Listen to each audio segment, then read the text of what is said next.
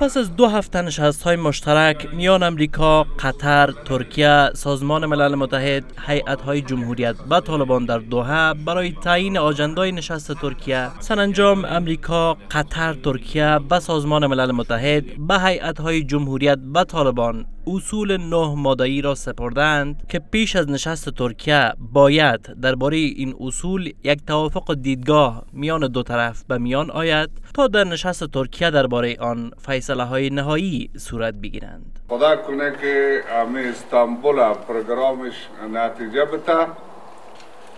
آتش بس شود آتش بس همیشگی انجام کارهای مشترک، مشارکت سیاسی، ایجاد حکومت انتقالی، حقوق مساوی شهروندان، برنامه های توسعه اقتصادی، حفظ روابط با کشورها و تضمین از تکرار نشدن جنگ از اصلهای این نامه هستند. حقوق بشری افغانستان مد نظر گرفته شد حقوق قربانیان مد نظر گرفته شد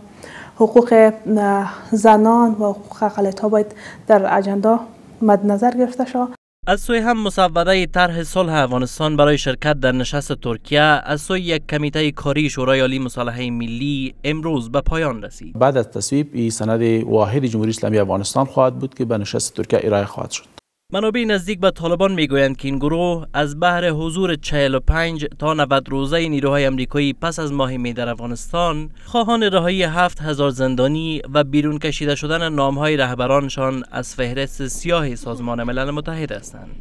بندیان خوش نشي او نور مفادات د حکرلی که عملی نشي زه فکر نکوم چې طالبان د ترکیه مجلس ته حاضر شي ما هیچ نوع رهایی زندانی را